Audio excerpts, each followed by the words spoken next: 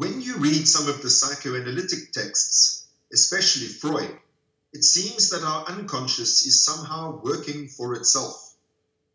I think some of our unconscious actions are so much separated from us.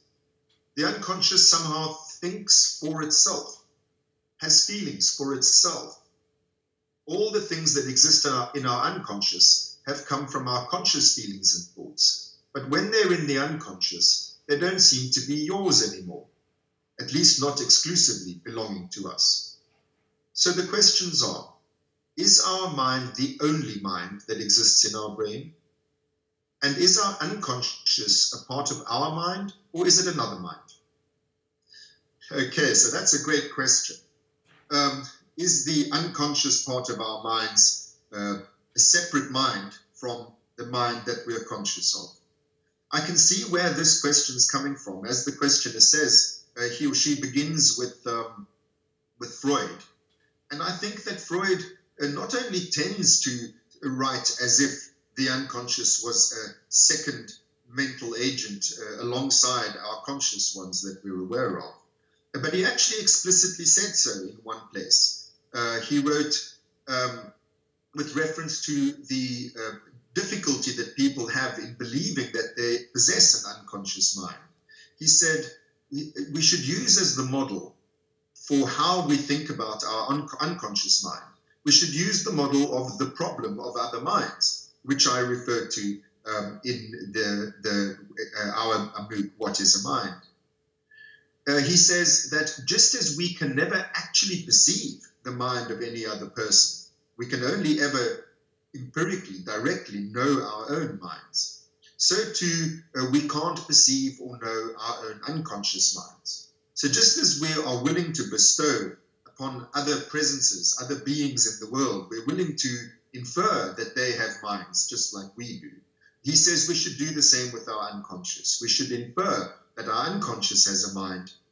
Uh, that is to say, that there is an unconscious mind within us, just as we're willing to accept that there is a mind within other people that we are not conscious of. I think that this way um, that Freud writes um, leads to the type of um, uh, puzzlement uh, that the questioner uh, is um, referring to.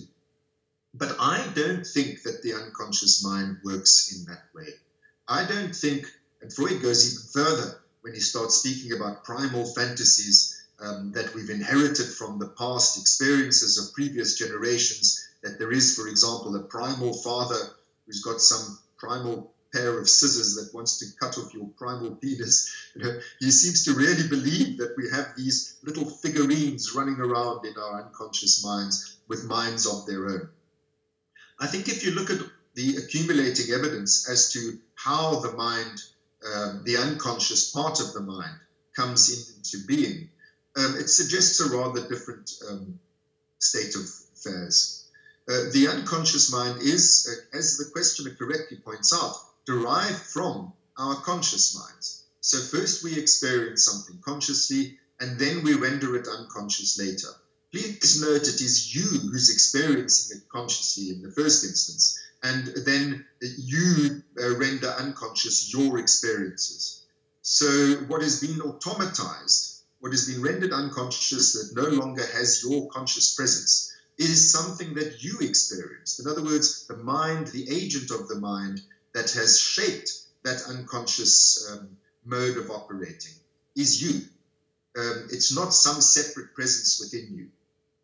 Uh, it's an automatized way of behaving derived from a previously volitional conscious way of behaving or experiencing.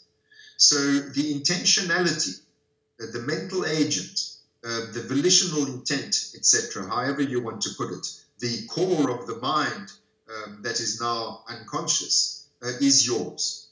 I think that where the difficulty arises, uh, which is what I think that uh, the, the, the, the, questioner um, is uh, talking about, where, where, where they're coming from, is that once you've automatized something, uh, by automatization, by rendering unconscious, what we literally mean is a withdrawal of you.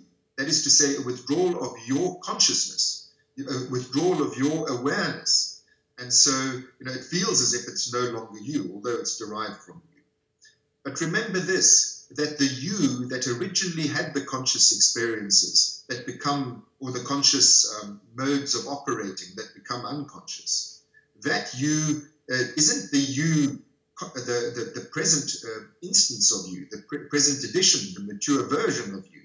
It can be a much younger, uh, much less rational and reasonable and learned you. Um, so much of what we automatize um, are ways of being, uh, ways of dealing with the world that were laid down when we were two, three, four years old. And uh, the kinds of intentionality, the kinds of volitions, the kinds of decisions that you made then may feel very alien to you now.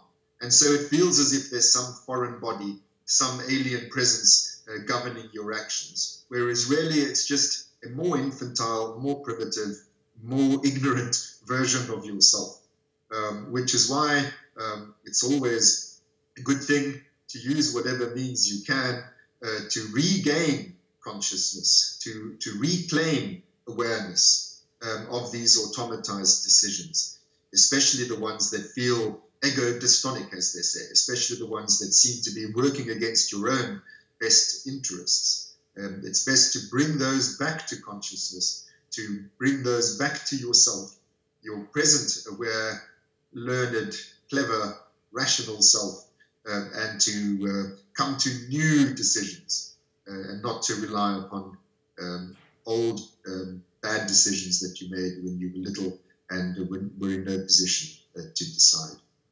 So that's how I would answer that question. Uh, no, there's no second mind. Um, the unconscious mind is derived from your conscious mind, but it might be a little out of date and therefore not behaving in the way that you want it to.